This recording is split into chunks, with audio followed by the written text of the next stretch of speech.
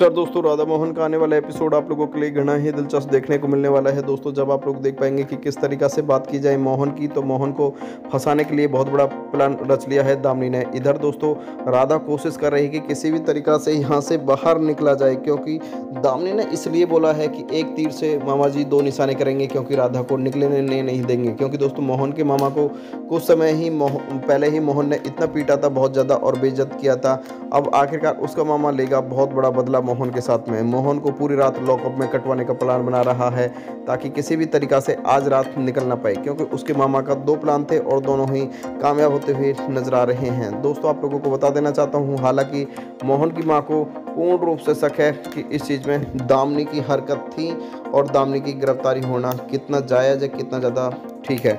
आप लोगों को बता देना चाहता हूँ कि आने वाली कहानी आप लोगों के बीच में एक और नया टोस्ट लाती हुई नज़र आने वाली है। बात की जाए इस समय की बड़ी अपडेट की तो जल्दी ही आप लोगों के बीच में देखने को मिलने वाला है कि किस तरीका से मोहन बोलता हुआ नज़र आने वाला है इस चीज़ को। क्योंकि आप लोग जानते ही हैं कि मोहन एक ऐसा शख्सियत रहा है जो हमेशा से ही बेहद ज़्यादा पावरफुल है और बेहद ज़्यादा सही भी है, लेकिन दामनी की आखिरकार चालाकी उसने आज तक समझी नहीं थी कि दामनी कुछ इस तरीका का भी प्लान कर सकती है, क्योंकि दामनी ने हमेशा से ही राधा को मारने की कोशिश की है, लेकिन इस बार दामनी ने बहुत अलग पैतरा खेला है और दामनी की माँ कावेरी लगातार भड़काने में लगी हुई है कि उस लड़की के लिए हमारी बेटी पर सब लोग शक कर रहे हैं। ये नहीं पता कि तुम्हारी बेटी एक बहुत बड़ी बेहद ज़्यादा ही बड़ी गुनहगार हैं। दोस्तों, आप लोगों को बता देना चाहता हूँ कि आने वाली कहानी आप लोगों के लिए बेहद ही ज़्यादा दिलचस्प देखने को मिलने वाली है, दोस्तों। साथ ही, दोस्तों, आप लोगों को बता देना चाहता हूँ कि आने वाले एपिसोड के लिए